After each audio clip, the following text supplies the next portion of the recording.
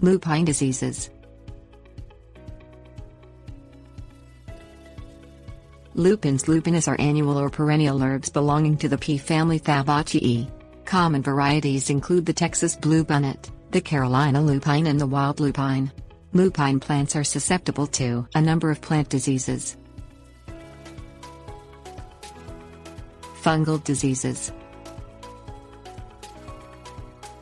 Lupins are susceptible to numerous fungal diseases including root rot pythium, downy mildew peronospora, powdery mildew and rust puccinia.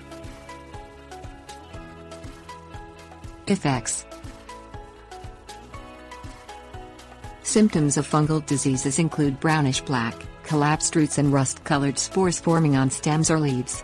Downy mildew appears as gray or white patches on leaves, while powdery mildew causes a coating of white or gray dust to form on leaves. Viral diseases Lupine plants are vulnerable to the mosaic and ring spot virus. Symptoms include mottled or yellowed leaves, stunted growth and deformed flowers and buds. Leaf spots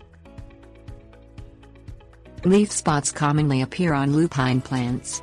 These spots are caused by various pathogens and are more prevalent during wet conditions.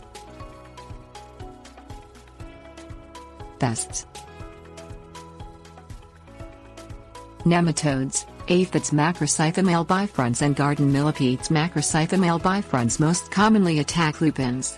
Nematodes are the most serious, attacking and feeding on the plant's root system and causing the foliage to wilt and lose color. Control